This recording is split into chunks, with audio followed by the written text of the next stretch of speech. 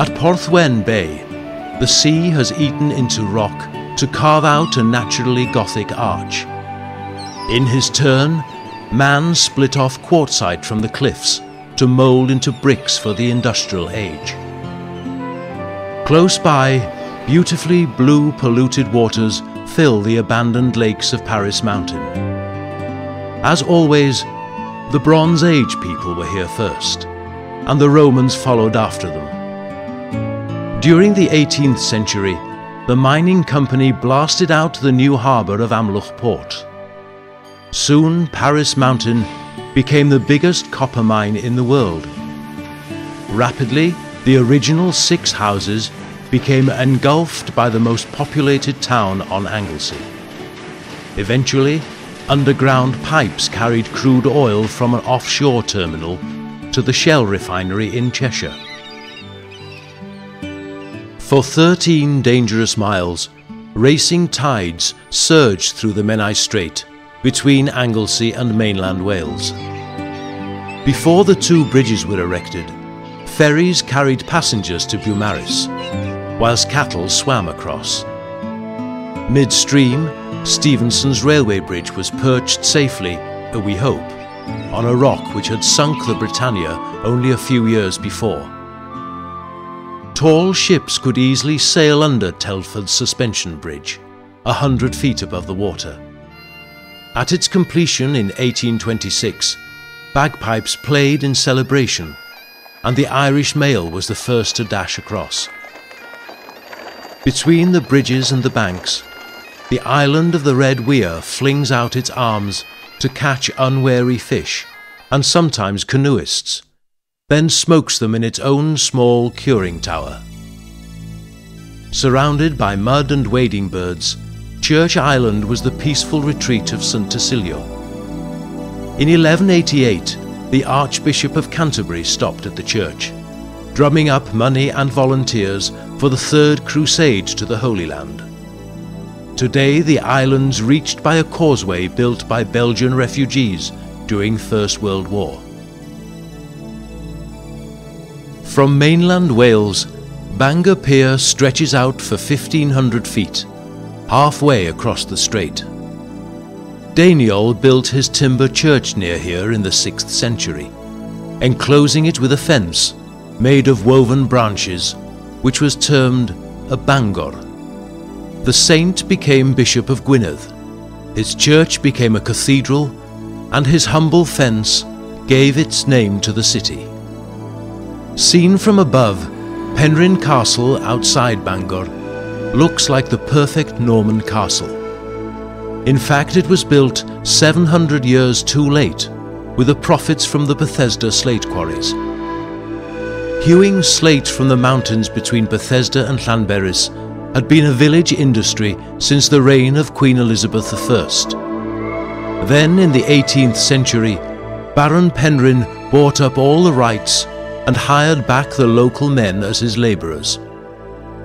Penrhyn Quarry paid them 12 shillings a week. It also made a fortune which financed Penrhyn Castle for its owners, providing the slate for their billiard table and their one-ton bed.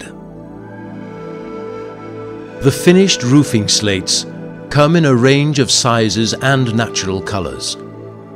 The various types have superior names, queens, duchesses, countesses and ladies and all the best judges prefer, it is said, a countess in blue to a duchess in red.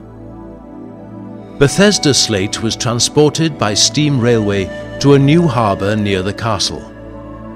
A rival quarry above Llyn Peris exported their product from Port Dinorwig. The lord of the manor was a master of hounds, a cricketer and a gentleman. By Act of Parliament, he enclosed four-fifths of the common land to establish the Dinorwig quarry, depriving the villagers of their rights. They could work for him, though, in their thousands, and they lived in the new village of Llanberis. The scars of the Nantlle slate quarries lie beneath the mountain of Mynydd Mawr, shaped from afar like an elephant.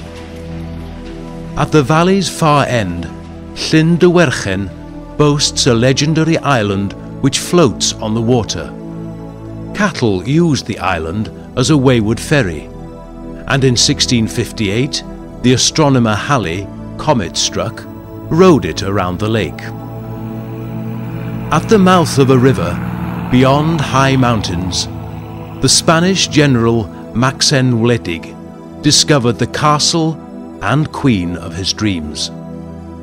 For seven years, Maxen lived with his Celtic wife, Helen, at the fort of Segontium before leaving Britain to become Emperor of Rome. After 700 years, Edward I, busy with his own empire building, sighted Carnarvon Castle nearby. This new castle reflected the style of Constantinople, because Emperor Constantine the Great had been born here.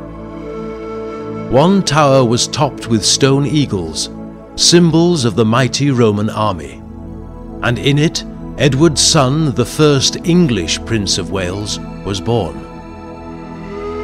Vortigern the Tall, ruler of Britain, having abandoned his land in Kent to the Saxons, built his castle on the cliff face of Nant Gwrtheyrn on the Llyn Peninsula. When his refuge was destroyed by an avenging fire from heaven, he leapt to his death in a stormy sea. From the 19th century up to World War II, Bardsey Island had its own king. The farmers were an independent lot, and the island's owner, in fun, appointed their headman king. He wore a brass crown and had a wooden soldier to stand guard over one silver chest. Bardsey has been a pilgrimage site since the 5th century, three trips there being worth one to Rome. Along the route, Clynnog Fawr became a traditional centre for healing. Patients bathed in St. Beuno's well and rested overnight on his tomb. Now the holy water couldn't help Mad King March of Abersoch, who had horse's ears. The king was so embarrassed that he ordered his barber to keep the secret. But the servant whispered it to the reeds blowing in the wind. Unfortunately, the reeds were made into pipes, and they sang of the king's misfortune whenever the piper played. Successfully tucked away on a beach is Porth Dinllaen, Above it, an Iron Age fort has been turned into a golf course, where balls shot into the rough end up in the sea. Unbelievably, this small harbour once rivaled Holyhead as a port for Ireland. For years, these Llyn villages were busy with shipbuilding and fishing boats. It's only recently they've become the quiet havens of holidaymakers. In the 20th century, Pwllheli was famous for redcoats at Butlins. But it was the Black Prince, clad in black chainmail, who leased the town out to a friend in the 1300s for the price of a single rose. Howell the Battle Axe served under the Black Prince in France during the Hundred Years' War. And on his return, he became Constable of Criccieth Castle. Nowadays, the castle looks over Tremadog Bay, but at that time it protected a wide estuary. For centuries, ships could sail up the Glaslyn towards Beddgelert. Then in 1808, Madocks built his one-mile cob across the estuary and reclaimed acres of marshland. The new harbour of Porthmadog became the outlet for the Blaenau Ffestiniog slate mines. So many ships dumped their soil ballast here that an islet formed in the bay, and on it grow plants from all over the world. Initially, the mines transported their slate via a tramway.